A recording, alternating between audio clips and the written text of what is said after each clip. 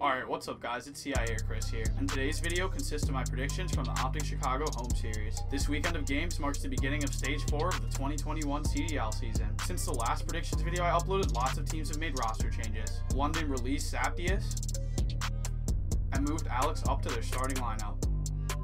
Paris released Classic, and Zaptius is joining the team in his place. Thieves benched Huke and moved Teej back up to their starting lineup. Minnesota moved accuracy to the bench and brought Major Maniac back up to their starting lineup.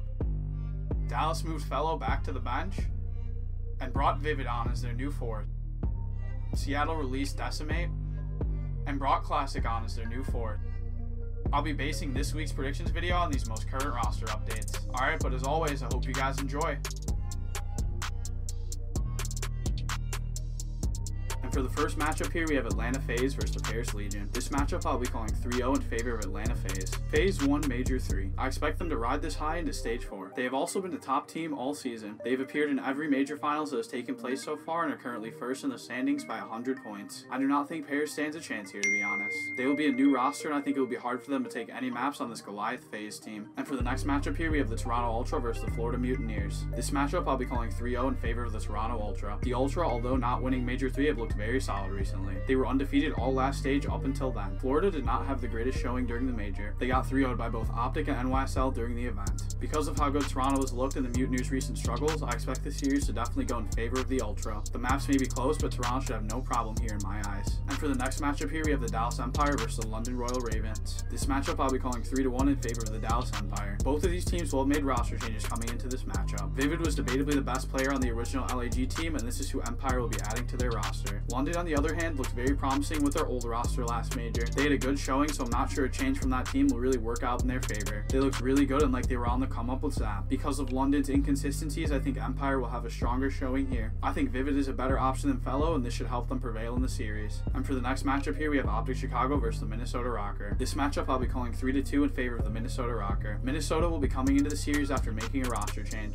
I think this was a much needed one and will help their team to be more successful. Attach, Priestahh, Standy, and Major Maniac are all some phenomenal players. Major Maniac was putting up good numbers before being benched. Optic looked much better during Major 3 than they did the entire rest of the stage. They made a run that ended up landing them all the way to Sunday. I expect the series to be very close. Both of these teams are solid in my mind. Optic during the last Major proved they are still a great team despite their recent struggles. I also think Standy is a great player and is definitely benefiting Minnesota. He has carried his weight all season and has had a pretty big impact on them all as a rookie in my opinion. Also, accuracy looked like the weakest link of their team to me if I'm being honest. I expect a highly contested series, but for the Rokkr to just barely be able to edge it out. And for the next matchup here, we have the Minnesota Rokkr versus the Paris Legion. This matchup I'll be calling 3-0 in favor of the Minnesota Rokkr. The Rokkr will be coming into this matchup after winning their most previous one. Paris, in contrast, will be coming into this matchup on a loss. I do not expect this series to be close, to be honest. If it was me, I probably would have benched accuracy and not Major Maniac if I was Minnesota to begin with. I think that after this change, they will look a lot better. I expect Rokkr to be competing with the best moving forward and don't expect Paris to really stand much of a chance here. And for the next matchup, we have the Los Angeles Thieves versus Seattle Surge. This matchup I'll be calling 3-0 in favor of the LA Thieves. Seattle has faced continued struggles all season. They are currently last in the standings and in CDL points. The Thieves looked like they were on an upwards trend before benching Teej for Huke. The team was also underperforming with Kyler. Moving Teej back to the starting lineup should not hurt their performance in my opinion. This will also be Seattle's first matchup with Classic. I do not think they will be prepared as a unit or be able to display enough talent to make it close. They will not have the practice nor the gunny to make it happen. And for the next matchup, we and for the next matchup here, we have the New York Subliners versus the Los Angeles Guerrillas. This matchup I'll be calling 3-0 in favor of NYSL. Subliners went undefeated all last stage up until the major. They didn't face their first L until they lost to FaZe during the major final. LAG did not have the strongest showing at the major. They were able to make it further than Elam round 1, but not by much. NYSL also played all last stage with the newest rookie to enter the league, Hydra. I expect them to only get better as they get more practice with him and for them to only improve from here. I do not think the series will be close, honestly. I expect complete domination from the subliners to occur. And for the next matchup here, we have the Florida Mutineers versus the London Royal Ravens. This matchup I'll be calling 3-2 in favor of the Florida Mutineers. Florida is currently higher in the standings than London. They are 8th while London is 10th. They also have 50 50 more CDL points. London will be coming into this matchup after losing their one prior. I do expect them to have a better showing here, however, which is why I'm awarding them two maps. I just think Florida is the more talented team. I think London will try to put up a fight here, but it will not be strong enough to take the series. And for the next matchup, we have the Toronto Ultra versus the Dallas Empire. This matchup I'll be calling 3 to 2 in favor of the Toronto Ultra. Both of these teams will be coming into this matchup after winning their one prior. The only difference is Empire's W will be after a roster change.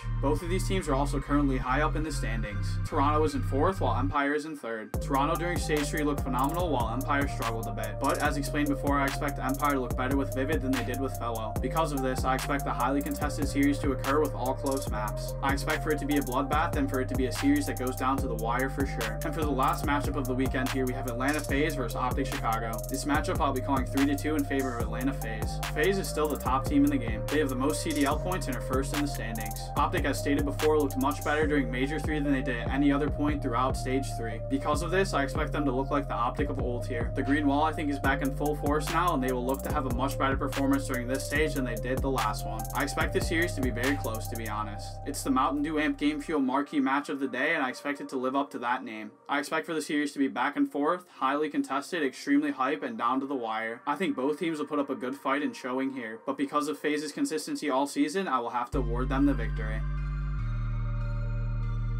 And now for my updated power rankings. In 12th, the Seattle Surge. In 11th, the Paris Legion. In 10th, the London Royal Ravens. In 9th, the Los Angeles Guerrillas. In 8th, the Florida Mutineers. In 7th, the Los Angeles Thieves. In 6th, the Minnesota Rokkr. In 5th, Optic Chicago. In 4th, Dallas Empire. In 3rd, New York Subliners. In 2nd, Toronto Ultra. And in 1st, Atlanta FaZe. Alright guys, so that's pretty much it for today's video. As always, let me know what your thoughts are down below and leave a like if you enjoyed. I'm super excited for this weekend of games and can't wait to see how they all play out. But until next time, it's been CIA or Chris. Hashtag 100TCIA. Peace.